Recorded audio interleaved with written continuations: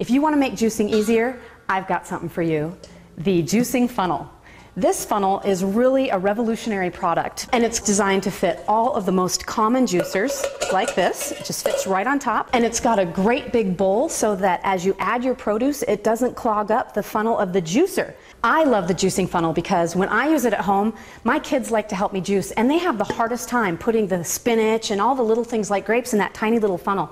Well, with the juicing funnel, you can just dump it right in, and the kids think it's so fun, they giggle all the way through it, and you can just pour the produce right in like this and all of it all at once. You don't even have to worry about doing it a little bit at a time because the juicing funnel is so efficient. It just handles all this right away and then you just kind of fluff it in and it falls in and it starts juicing right up. And my kids love to help out, especially when we have the juicing funnel. If you're like me, when you go to throw the pulp away, you look at how wet it is and you think you could just wring it out and get more juice out of it.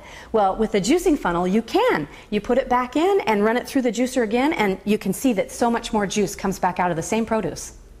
The juicing funnel is an essential kitchen tool for anyone who loves to juice. It makes juicing more simple by allowing the produce to go into the juicer with ease, and it's very efficient. Simply by being able to rejuice the pulp, you can easily save a few dollars every time you juice. The juicing funnel is the way to go.